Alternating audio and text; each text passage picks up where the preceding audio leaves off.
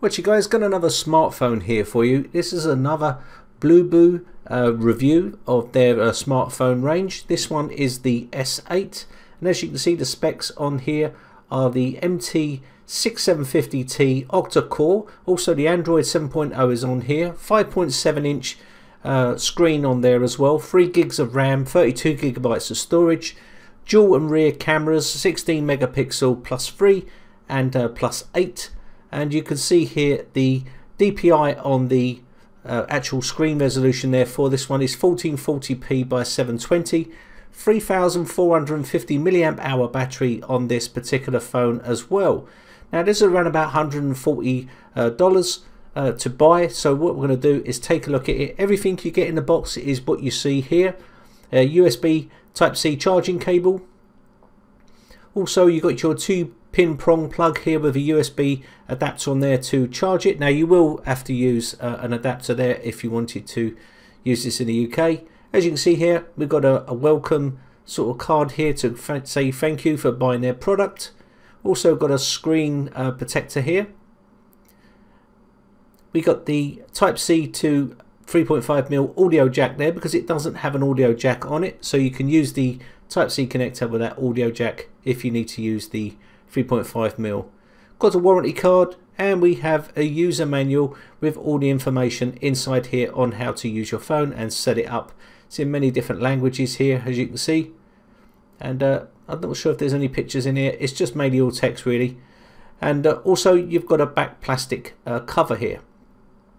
And your, your SIM tray removal uh, tool in there as well. And also you're going to get your uh, Bluboo S8 mobile phone. Now, at first glances, this looks really stunning. I do like the look of it. It's got those curved edges, that nice chrome finish, and that uh, electric blue sort of uh, finish to the back of the phone and the sides of the phone. I do like the look of it, and uh, it's very heavy to hold in the hand. It's not sort of a lightweight phone. And of course, a Chinese phone wouldn't be a Chinese phone without them trying to copy something, and they've obviously tried to copy the Galaxy S8 and you can see here the thickness of it as well. Uh, it's got a chrome side to it and it does have those rolled edges on there as well to sort of mimic uh, an infinity sort of display there. You can see the forward facing uh, camera on the front here and the earpiece speaker and also we have the sensor there. On the other side uh, we have the rocker button. This is for your volume and uh, these are made of metal as well and the side pieces are made of metal. On the other side we've got another rocker button which is your power button as well uh, for the phone. And of course on this side we have a speaker and they've only put one speaker on here. Um, most of the phones you see have got one speaker. You've also got your type C connector there but most of the phones have only really got one speaker. They put a dummy uh, speaker in as well. Now on the back we have a dual flash LED flash there and cameras now also you can see here we have a, a, fingerprint scanner on this particular type of phone and that's not too bad for a sort of budget type of phone here. Now on the very top here you can see that SIM tray and uh, you could just use your SIM tool to remove that and put in your SIMs and your microSD card in there as well. Now also let's just have a look around the phone itself. You can see those nice beveled edges there and of course uh, the nice screen which uh, does give a nice uh, display. And I think at this price point, you can see those plastic plastic parts there at the bottom, the little lines there as well. And you should also be able to see the curved edges around the corners and also the sides there. So it does look quite nice at this sort of price point. It's definitely not a Samsung Galaxy uh, sort of uh, level, but it is a decent sort of budget entry phone really. Now there was an update as soon as I powered this on, but as you can see the first look on the phone, it looks pretty nice. This is your settings panel here and uh, you can see pretty much standard for Android. They've just changed a few of the uh, icons and stuff like that to suit this sort of phone. Slide that out on the side and you've got the set more settings here where you can access these as well. And I'll go through all the specs and stuff a little bit later on in the video so make sure you stick around. Now also we can take a look at the about phone. You can see we do have the Android 7.0 and we also have Android security patch levels July 5th 2017 now also I'm going to do some benchmarking here so you can see the benchmark scores and first off we're going to start with the first benchmark so you'll be able to get an idea of how good or bad this phone is. You can see here you got the 40,817 which isn't too bad for a sort of budget phone.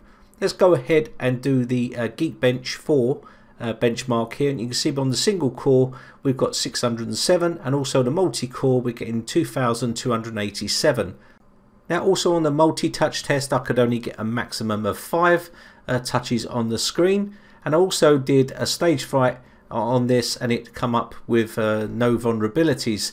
Now also checking out here we have the Nuggets 7.0 Android. As you can see the API level is 24 the CPU has got 8 cores, free, actual RAM is 3 gigabytes, physical available RAM is 2883 and you can see there we have the MT6750T uh, CPU.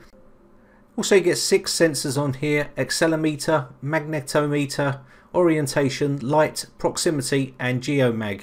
They're the 6 sensors you're going to get on this phone. Also the rear camera is a 13 megapixel camera and then moving on to the front facing camera we can take a look at this.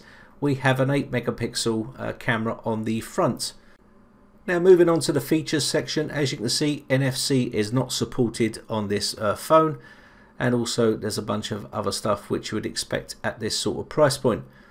Now also moving on to the battery this is just sort of an estimate. As you can see here the battery at 30% lasts for 5 hours and 24 minutes and also nighttime you can see 7 hours and 12 and daytime 1 hour 30 minutes and you can see they're just estimates on there.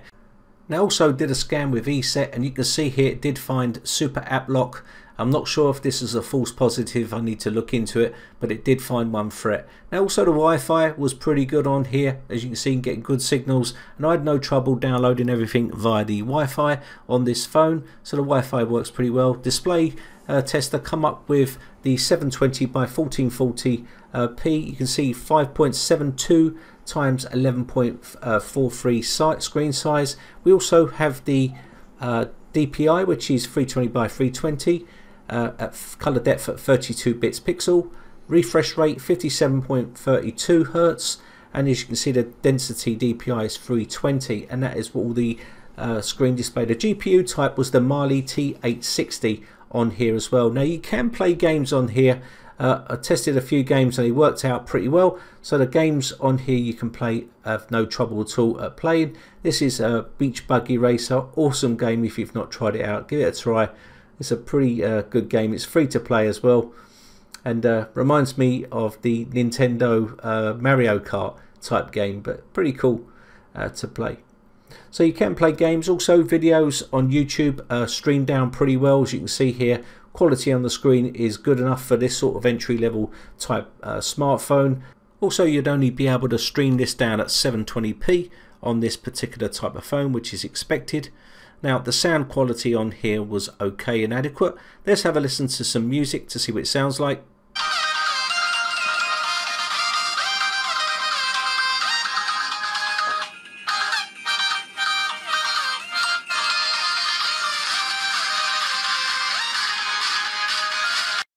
The phone does get rather hot to touch when you're doing certain stuff like gaming and stuff, but as you can see here, the scrolling works pretty well, no problems there. The zoom and pinch, as you can see here, works pretty well. There's no bleed on the fonts there, they look pretty sharp and nice, which is pretty nice for a sort of entry level smartphone around about $145. You can also see here we do have some features on here like video, photo, beauty and FaceCute and a bunch of other features on here as well which you can uh, mess around with. Uh, there is some other uh, bits on here as well which you may want to mess around with like HDR uh, and also some filters and we'll take a quick look at those.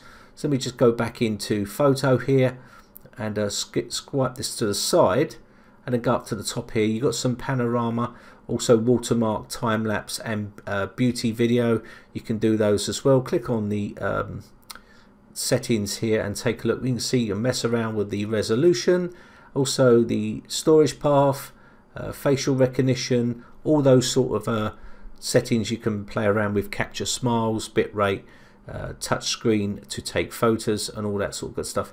Also HDR is off.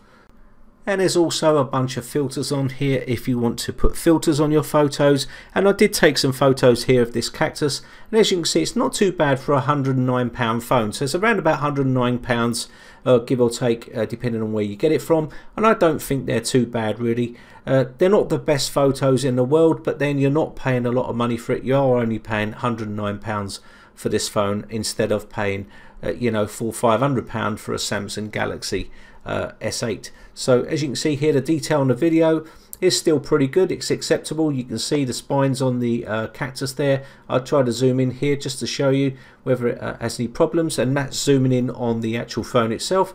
So not too shabby. It's not too bad. Uh, low light obviously you're going to suffer a little bit but it does a pretty good job all round uh, for this sort of uh, entry level smartphone.